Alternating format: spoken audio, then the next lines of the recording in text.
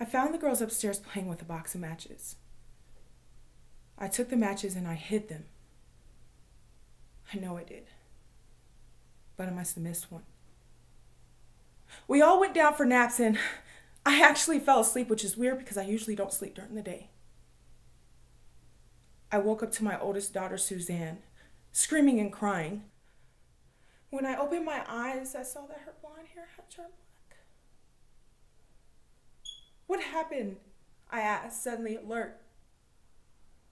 My bed is on fire, she screamed. I leaped out of the bed and I ran for the phone. George, this is your sister Sarah. Get over here right away. My my house is on fire and I think Maggie and Betty are trapped upstairs. I hung up the phone and I ran for the stairs. On my way up, the stairs collapsed, breaking my arm. I tried to get up out of there and up to my babies, but I couldn't with one good arm. Then George appeared and he pulled me up and he dashed up the stairs after the girls, but but he didn't get much further than I did before the stairs gave on him as well. I can hear my baby screaming and crying. It broke my heart. But now I realize that was music to my ears compared to what I heard next. Silence. When they stopped crying, I knew the fire had got them.